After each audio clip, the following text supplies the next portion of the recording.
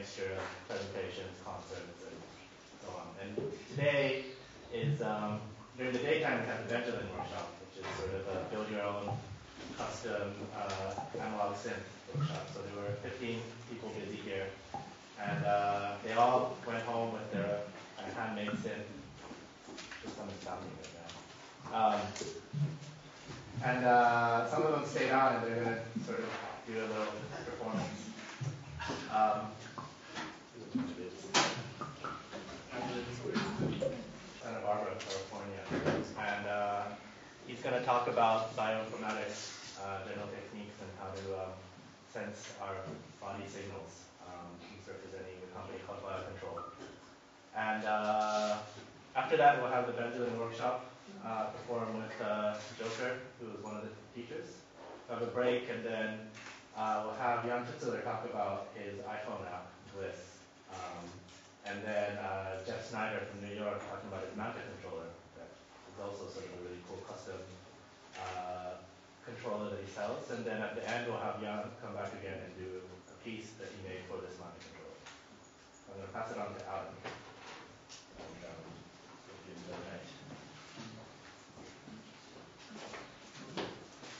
Well, good evening. My name is Alan Macy from Santa Barbara. I've lived there for a long time, it's 1980. And my first time at STEIM was about three years ago. And um, so, second time now. And even though everybody remembers their first time, my uh, second time has been similarly delightful so far. So, just very appreciative to be here and um, to um, talk about this particular subject matter, bioinformatics. And this is um, this is about uh, the application of knowledge um, uh, or the derivation of knowledge um, related to the computer analysis of biological data. And the purpose of, I mean, this is a big field, bioinformatics is a large field, but the purpose of, um, of what I wanted to talk about today was for the enhancing, you know, potentially enhancing our composition and performance abilities um, using this um, subject matter, bioinformatics. So potential of this is uh, the potential of bioinformatics is related to like human physiology and recording data from people. Is that uh, you can we can aim for a, a improved computer user interface.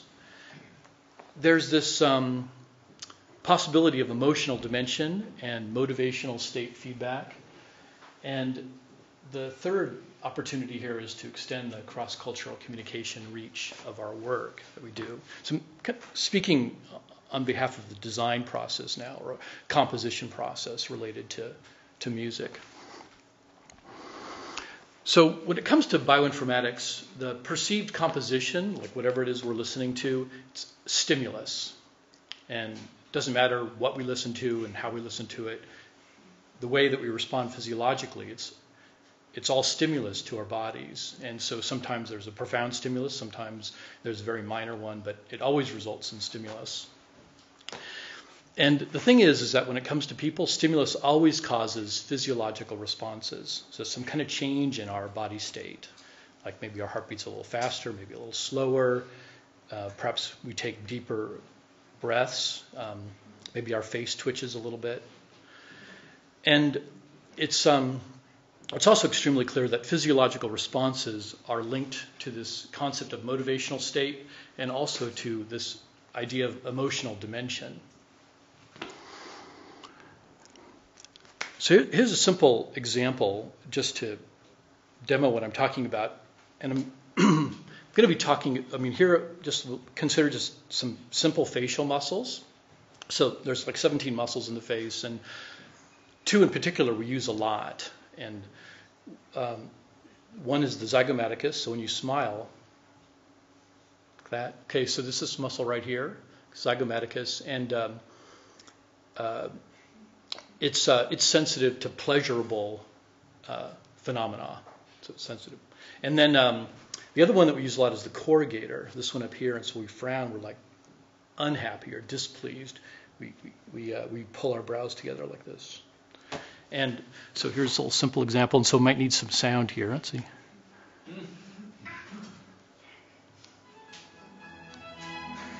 So, See.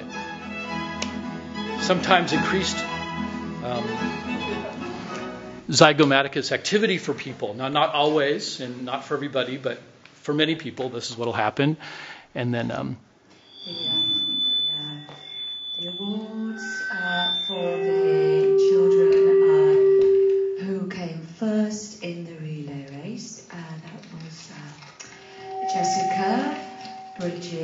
Not altogether pleasant, that experience. So, um, just to kind of demo that we do, um, you know, behave pretty differently. Our bodies do respond pretty differently to the kinds of things that we see and we hear.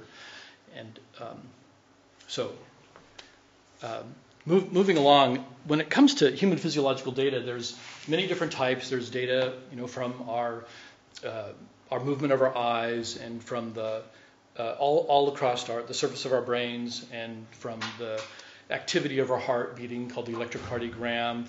Um, signals associated with our metabolic function, like how much oxygen we consume and how much carbon dioxide we produce, and skeletal muscle signals uh, called the electromyogram, and they occur all over the body, and even signals from the peristaltic contraction of your intestines, and um, so lots of hundreds of different kinds of signals from the body, and much of this data um, not all of it, but much of it points to this concept of, or this idea of emotional dimension.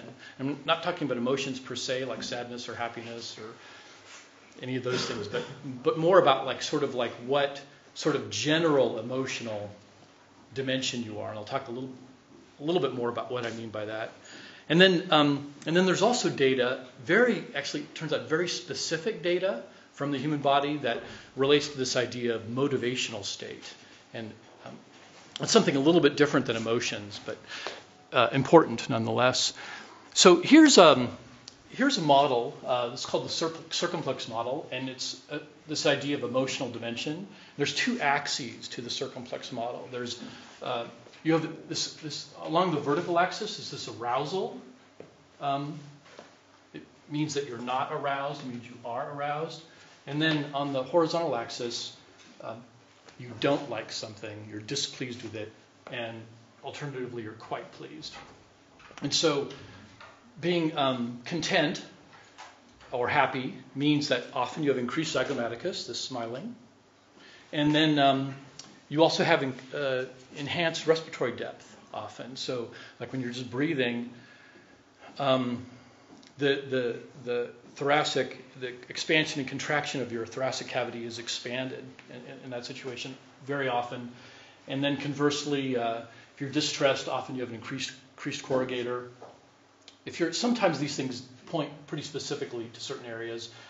The pulse plethysmogram, which is this um, reading that looks at blood volume density in the fingertip, this will increase in this condition uh, generally. And you'll get decreased heart rate and decreased um, skin sweating down here if you're bored or idle versus when you're um, activated or afraid or excited, you have increased heart rate or increased skin sweating. And um, so, but these variables, these physiological variables, they don't they don't point super well to like specific states, but they point much better to kind of quadrants of um, of being.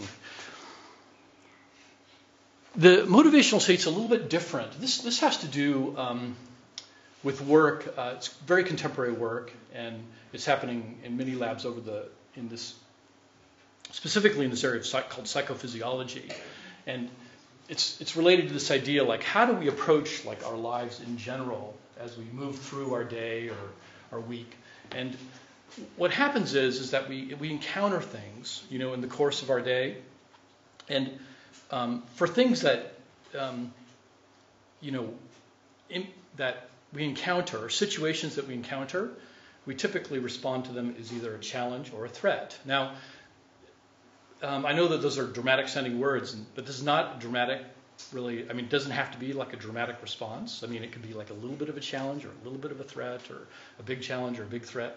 But the situation is um, is very clear physiologically what happens, and in a challenge response. And a challenge response also means that the thing that we encounter, the situation that we encounter, means that we feel on some level we have enough resources to be able to approach and handle the situation, to um, face it. And when you're um, when you when you're threatened by something, it means that on some level you feel you don't have the resources to handle it. And resources can be all kinds of things. It can be kind of like knowledge. It can be family connections. It can be some kind of like sort of hidden information that you have about something. But a very broad term, what resources mean. But just fundamentally, it's like as you go through your day, you're either kind of challenged or threatened. So um, is believed by many psychophysiologists. And so in a challenge response, you have a drop in blood pressure, you have an increase in stroke volume, which means that each time your heart pumps, um, stro- uh, with each beat of your heart, you pump a little bit more blood. That's stroke volume. And then vascular resistance is a sort of like, um, you know, your, your, all your, uh, your veins and your arteries in your body, they kind of open up a little bit more. And so it means that the overall resistance drops, and so you consequently, that's associated with this drop in blood pressure, despite the increase in stroke volume. This is the same kind of response that you would get if you stick your hand in like nice warm water. It's the same exact physiological response. And so in a threat response, what happens is, is that your blood pressure increases a little bit, your stroke volume increases a little bit, and your vascular resistance increases a little bit in a stress in a threat response. And so anyway, they're very uh, easy to, to identify physiologically, the, these states. And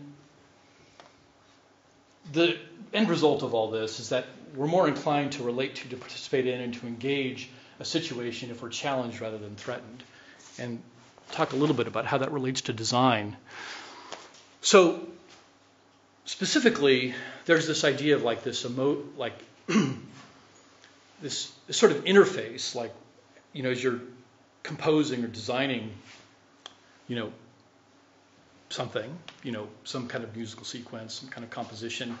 And so the way that this might happen, I imagine, is that you present audio to the designer, and then the then the computer. I mean, I guess what I'm talking about is sort of like this, this the possibility of sort of like an enhanced user interface between computer and designer in this course of, in the course of um, of, uh, of composing music. So the computer could present the audio to the designer. The the composer could the computer could sense the physiological changes occurring within the composer's body.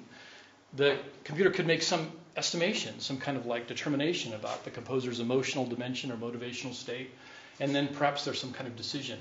Am I going to take action? Is the computer going to take action? And no, maybe do nothing, or yes, maybe I will take action, and then that might result in some sort of stimulus to the designer, right? And it, we can talk about like what that might be later, but this is sort of like a, an empathic loop that could be created between the composer and the computer during the course of design.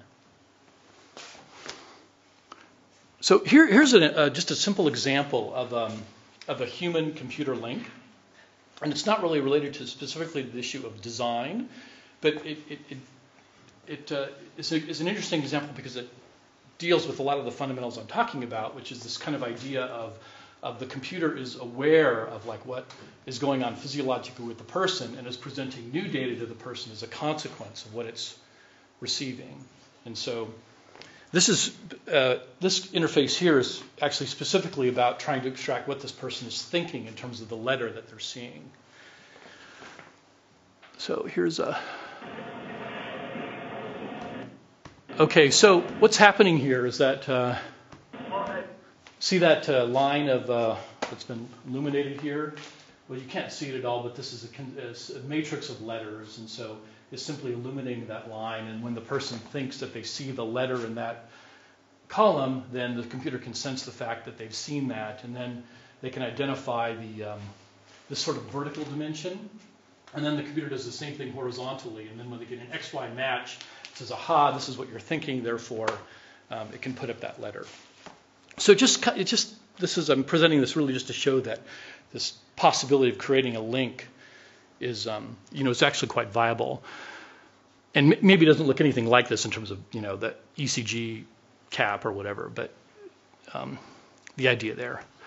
So here's the, posit- here's the kind of concept of a designer loop. So you have the computer that the designer is working with. It's some, you know, stores data and it has a monitor and, and uh, uh, speakers and and then there's a mouse and a, a keyboard.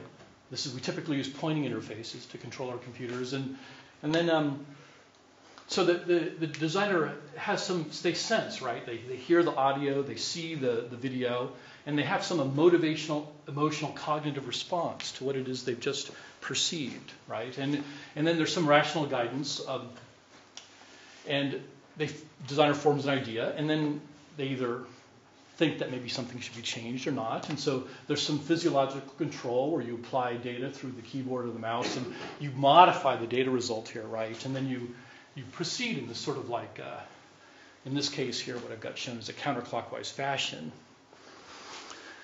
So when you um, when you talk about this possibility of like direct emotional interfacing, you know, in in terms of like with this um, with this computer, then uh, in the process of design, what happens is is that instead of just the people um, physiologically uh, sensing, right, what the computer is presenting, right? I just, I'm the designer and I'm seeing, okay, the computer is presenting me with this video or it's presenting me with this audio, right? Um, the computer now is also sensing me, right? So it's sensing my emotional state, it's my emotional dimension, it's sensing my motivational state. And so, in the perhaps maybe what would happen is is that there might be some sort of different, uh, you know, kind of like um, phenomena that occurs during this time, and um, this this kind of like uh, this like sort of a looping process that occurs here. So I know this is getting a little complicated, um, but uh, when you put the there, there's two aspects, right, to this, this process, right? There's the designing process where the designer goes through and goes through this um, this looping process in, in, terms of creating whatever it is they're creating, and then there's also like well, who is it for, right? So it's not just for me, right? It's for some audience. So it's for a recipient somewhere, and and so you have the same kind of like uh, like process here for a recipient where they sense what hap- what's happening. They have some motivational, emotional, cognitive response. They have some guidance, rational guidance, and then they form an idea about what it is they've just heard. And normally, when you're composing or designing, what happens is is that the only way you can get feedback here from what the recipient thinks to what the designer is doing is through this communication medium, which is like um, like an email or a smile on the face or um, or uh, maybe a public opinion survey or and it's quite variable and um, uh, um, and but it's what we have now and it it's um, completely serviceable. And it would be very different than this kind of feedback, which is sort of direct motivational, emotional, cognitive response data, right, from the recipient coming back through the user interface, and then the designer becomes a little bit more aware of precisely what it is the uh, the um, the recipient is is um, experiencing. So, what's possible now? Um, this is a little, little more practical. Uh, so, what we can do now is we can establish information about someone's emotional dimension. We can determine motivational state, and we can introduce real-time stimulus into the composition process or performance. And so, what the kind of data that would be required here would be like electrocardiographic data, electrodermal activity data, electromyographic data, skeletal muscle, the pulse plethysmography, respiration, skin temperature. For motivational state, we can acquire data, blood pressure, ECG, or stroke volume. And let's say, as a designer, okay, well, what might the computer want to do? So perhaps the computer might, uh, might, you're sitting there in front of the computer and the computer senses that you're something, and it senses something. And so maybe it, it, it changes the smell in the room just ever so slightly. Like maybe it makes it smell, I don't know, differently. Or perhaps it throws up a coffee icon on the screen, or changes ambient music in the room, or maybe your chair's a little cold. And um, if you're struggling, maybe it even introduces relevant, a relevant hyperlink related to what it is you're, you're working on. Now, there's this other aspect of like, this would be sort of like design related. And I don't really know all the things that it could do. I, I mean, I have no idea really. But just kind of um, simple things. And uh, on the performance side, what could happen here is that you could modify audio in real time as a function of performer or recipient emotional dimension or motivational state. So you can actually modify, you know, kind of tweak the uh, the audio in real time depending on kind of what the performer is, you know, really like emotionally dimensionally at or motivationally at or what the recipients are are at. And um, so a specific, like to get a little bit more specific here, um, like also during this, uh, um, like let's say during this composition process, you can do this thing called post-processing emotional analysis, which is where you play the audio, right? And uh, then you can you can evaluate the listener's um, physiological record during the audio performance, during music, and then you can you can match the listener's emotional dimension and their motivational state with the elements of the composition. So you could do something like this. Like, let's say uh, you're monitoring motivational state. So, challenge is up, threat is down. Uh, this is valence. So, this would be like pleasurable, displeasurable. And this is aroused, not aroused. And so then you can say, oh, gee, during audio segment whatever, this happened. And maybe that's like a really good thing. And maybe that would want to be balanced with something else coming later. And maybe what happened, it's just kind of like it's information, right? It's like information that's sort of interesting. And I'm not quite sure, you know, I personally don't know quite all of what it means. It's just that it's kind of like these days relatively easy to get. And it's not information we're normally accustomed to seeing. And so, um, how, we, how do we get this data? You can use probes inside the body, which we're not going to talk about at all. We can use non invasive probes, which attach to the outside of the body, or you can use non contact probes. And so, non invasive signals would be things like the electrocardiogram and the brain waves and the, contra- the contractual activity of your stomach, or non invasive cardiac output, or goniometry, or tremor, respiration, airflow. I mean, a whole slew of biochemical data you can acquire uh, blood oxygen and pH and functional near infrared imaging and all that stuff. Um, and they're attached kind of like this, this way, in all these various ways. And um, but it's they're getting very sophisticated. Like this is a this is a wireless um, multi-channel physiological recorder. It's, it records 18 channels of data. It's complete, very unobtrusive. Goes um, uh, it's uh, just like a strap that goes around the torso, and it acquires like electrocardiogram and respiration and body position and all kinds of information. And um, this is this is kind of interesting. This is uh, this is emerging technology, and uh, this is this is called functional near infrared near infrared imaging. And this this technique allows you to kind of like look like right into the brain, the top half inch of the cerebral cortex, and um, this is like the, the source of executive function in the brain. And um, it shines through, wave, wavelengths of light through the skull, and then they, the data is reflected, and then you can determine what you would determine in like a functional magnetic resonance imaging chamber. Like normally, instead of lying down with like the big thing on your head, this is like a portable version of that. And these would be typical non-contact signals, sound and image and motion and temperature and CO2 and microwave Doppler radar is an especially interesting technology. This is sort of like the Star Trek tricorder. You can point this at someone three meters away and you can extract information about their respiratory rate or how fast their heart's beating. Um, their scent, heel, toe strike, gait, weight, biochemical analysis, and some stimulus response options.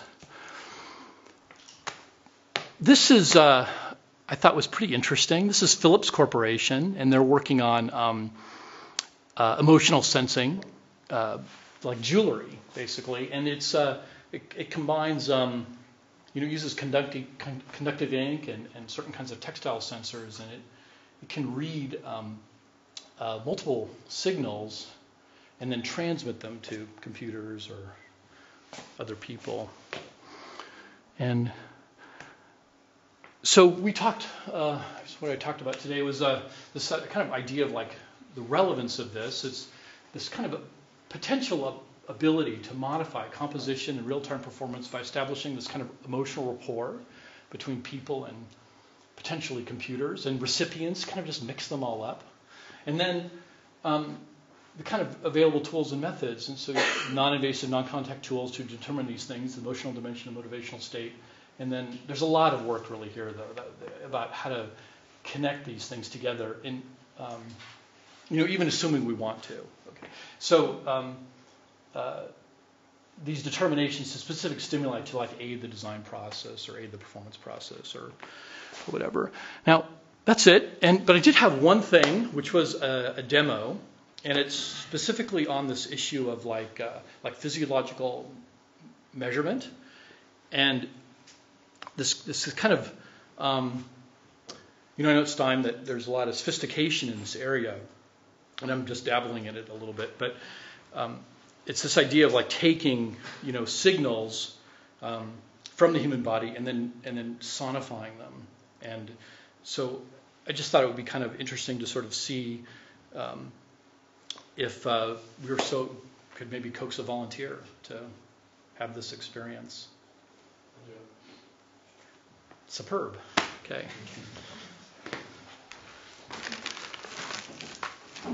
Any questions about any of this? As we're okay. I'm going to be applying these electrodes. They're, these are essentially just like attachment points to the skin. And all we're going to be doing, excuse me, what's your name? Boris. Boris? Yeah. Boris, excellent. I'm Alan. Perfect. Okay. So um, have a seat, Boris. Stop okay. Okay. So um, the, the, Boris's body is is is, is um, filled with electricity, and all we're going to do is we're just going to measure a little bit of this electricity. So it's it's just a signal that Boris manifests all the time. It just normally we can't experience it or can't um, perceive it really in any way. And so it just happens to be about the signal we're going to look at is about a thousandth of a volt.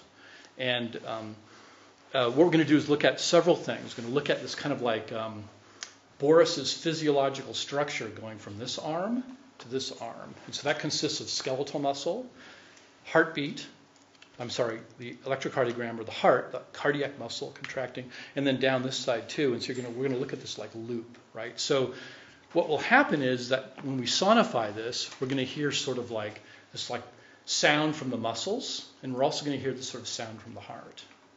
And then you'll be able to kind of like sort of mediate between the two, depending on what it is you're going to do. So that's it. So. Um, so these are just like this is like salt water, really. It's all it is, and so it just permeates the skin ever so slightly. It's like. Um, Anywhere special? Uh, no, these are just like you. They, these are just found in any hospital. You perform the electrocardiogram. Are there specific points? Well, we're just going to look at this whole. I mean, we could put these anywhere. No matter where we put these on on uh, Boris, we would pick up something. But um, we're uh, we're just going to look at this sort of one. Uh, one chain here. So all I'm doing, this is a differential amplifier, and so all I'm doing is I'm measuring, it's like putting a voltmeter, right, on Boris from this point to this point. That's all we're doing. And so just, all we're doing is measuring what's there. So this is a positive input here. This is a negative input.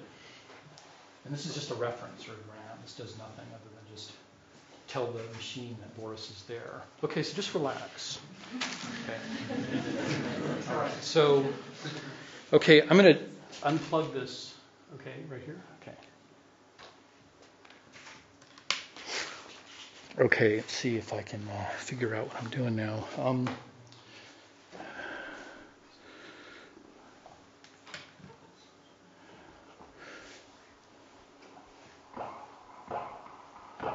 okay, that's that's Boris's uh, electro. That's Boris's heartbeat that we're hearing here.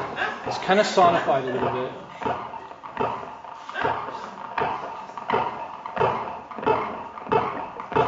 Okay, right. Okay. So what we're going to do now is um, think about this here.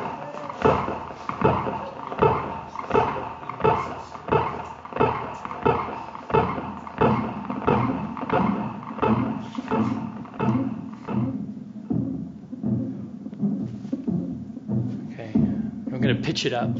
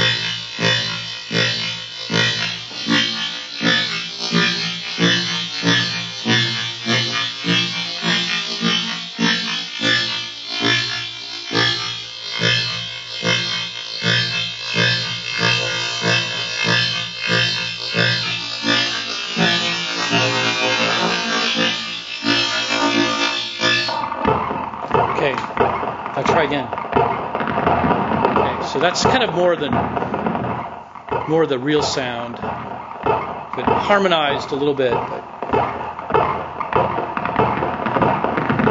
okay, maybe try um, maybe try standing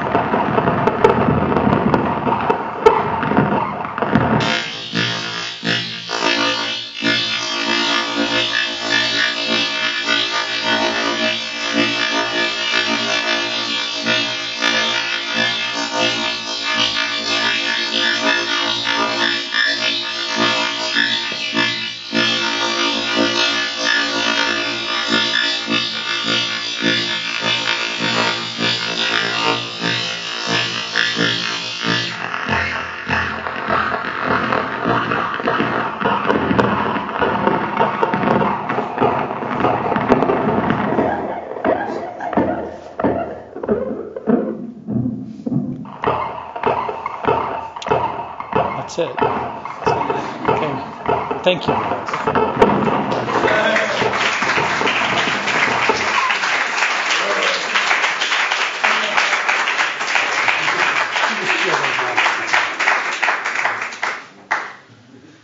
right, Thank you very much. Pleasure. Um, any questions about anything you've heard today? Let's start setting up the next. Yeah, absolutely. Yeah. Just one question. We heard, we started hearing all sorts of transients when he was, uh, for instance, attacking his muscle. What was that? Well, um, the EMG is pretty complicated signal, and so it might have been a kind of an onset, EMG onset signal. Could be. So it was just something on top of his heart. Yeah, I think so. Yeah, kind of like part of this uh, chain, right, that we were looking at, and so some aspect of uh, of muscle physiology.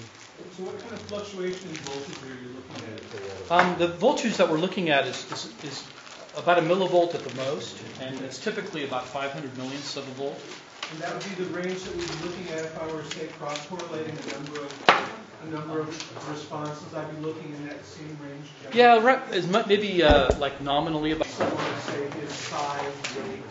Yeah, everybody's different. There's about a factor of 10 difference in the human population Okay. on these signals.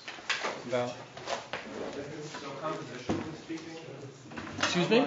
Compositionally speaking, you're, you're following my, my heart rate and, and the the voltage that my body is producing. How much of that is filtered through devices that can give you more practical results and more random? You're gonna equal that. Um, well, uh, this is, I'm, I, I'm a huge neophyte in this area, so uh, I know very little about musical processing, data processing. Uh, um, all I can say is, is that for the, are you talking about specifically about the demo today, or are you talking about like in general? I think more of a general usage to get, you know, some, more of a experimental result versus more of a tool that you can get, even from, but results that can be, enhanced predictable results. I guess it would be some kind of mapping, right? You, you have this physiological data, and you, you're going to make some assumptions about how you want it to, to map to where you want to go. So you're, you're maybe looking at heart rate, and you're saying, okay, maybe this will somehow relate, just for uh, argument's discussion, maybe it's going to, some, some, somehow relate to rhythm in whatever it is you're but you can have a very specific relationship between the rhythm of the heart and rhythm of the beats, and that can just be mathematically determined. Is there a lot of hysteresis in that signal that you're filtering out before you're sound? No, It really no, Because of him or because the signal itself? no, the signal itself is, is, it's, uh, an, just analog data, so it's, it's very rich, it's rich, complex analog data. Just happens to be mostly low frequency though, so almost all the signals you get, um, you know, except for the skeletal muscle, are, are uh, below human hearing. And so in order to hear it, um, uh, I need to harmonize it to, to hear it. But you're hearing hearing harmonics that are related to the, the fundamental. What was that that you were running the signal through before the two pedals? Is that, Uh, the first pedal was just a uh, pitch shifter, yeah, and then the second pedal was a, uh, a digital delay. but after that? That's it, just those two, pitch shifter and the digital delay. Yeah. Uh-huh, yes. Um, do you yourself, are you, do you consider yourself more of a, a musician or a researcher? I'm not a musician. Um, yeah, more a researcher. Yeah. Okay. Just. So, uh, let's move on to, um, Yes, Joker. thank you. Uh, throughout the afternoon from 12 to 6. Basically, we build, everybody has built an instrument. And so let's see what we got here. We'll get some hum.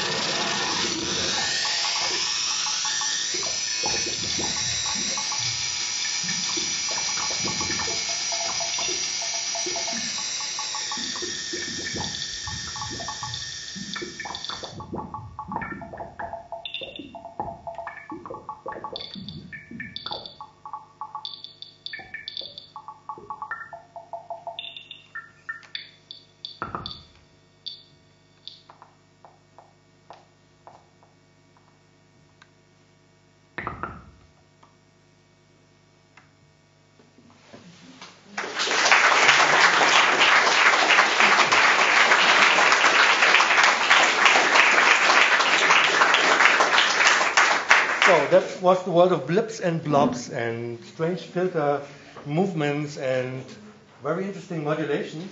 And what we did today, we built this circuit board powered by two batteries with one output, but a lot of more outputs and inputs to actually interface it with other uh, analog gear. And maybe Rob want to say a couple of words about the workshop today? Yeah, it's. Uh, the idea Come up front. The idea, hello, I'm Rob. The idea of this workshop is uh, for people to actually sort of uh, uh, build something yourself, and then we try to make sure that at the end of the workshop, all the things that people have built actually work. So you go home with a, a piece of electronics that is purely analog and uh, and is something that you've built yourself, which is uh, uh, getting a real rare experience these days because everybody is so used to software. And uh, one of the ideas about this this this actual analog thing was that the thing with software is that software is never finished. You think it's finished, and then next month there will be the new release with all the new functions, etc., etc. And you have to learn things, and that way it constantly evolves. And I've been working with computers for some 30 years, so I know it's always been like that, and I think it will always be like that. But the beauty of a physical analog thing is that once it's ready, it's ready. That's it. And then live with it or not. and that's uh, and I thought that sort of experience also needs to be there for people that like that. So yeah, that's and Well, we still left something open because this is the circuit board and there are some pins that are not connected to anything yet, but you might end up with a box like this because this is my version of uh, the Benjolin. And I think everybody uh, who participated in this workshop will build his own very individual instrument out of this basic instrument that we provided. It's of course true that it's still uh, a, a finite instrument with uh, still a lot of possibilities to interface with other things. yeah. So yeah. it's kind of open, but it's a, uh, it's a fixed and uh, a fixed design that will never change to a software upload or anything like that. And there is a certain educational part in this that it's like uh, like you're you're half, halfway with a design that's already fully built, but then you go home and then you have to put it in a box, and then it's up to your own total creativity. And we have a little forum on the internet where people have been to these workshops, are posting the pictures of what they did afterwards with that, and it's amazing to see how completely different sort of things uh, that, uh, that that produces. So I really would like to uh, invite uh, my real good friend Joker, who uh, is a fantastic player of all these uh, instruments, and, and like he said, uh, we're uh, partners in electronic and sonic crime. And uh, to and I would like to invite all the people that uh, would like to participate Okay, uh, in the in the session. Omnicode Move forward. uh, Benjolin Orchestra on your places. There's one, somebody who was not connected before.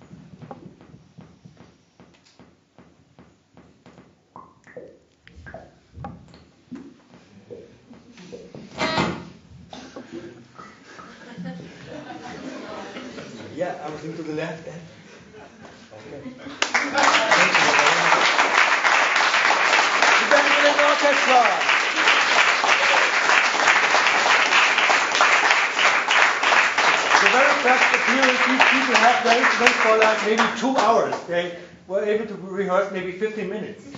So there's a lot to explore still and put bigger knobs on them. So I had it easy. I, I could see what I'm doing. So very great playing. Thank you very much.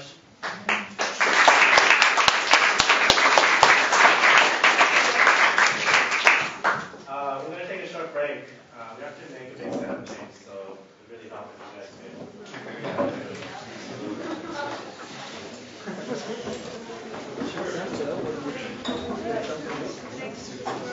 For like 15 minutes rehearsal, it was great. I liked it. Yeah, they, all the same can only noise.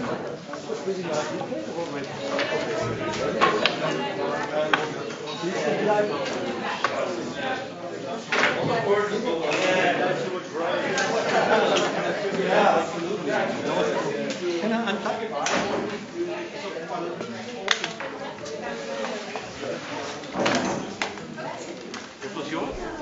Uh, yeah, just put it there. And, uh, I think uh, Test. Can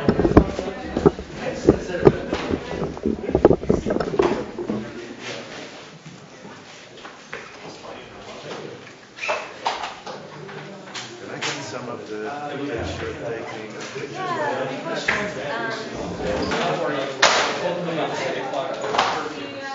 Then, uh,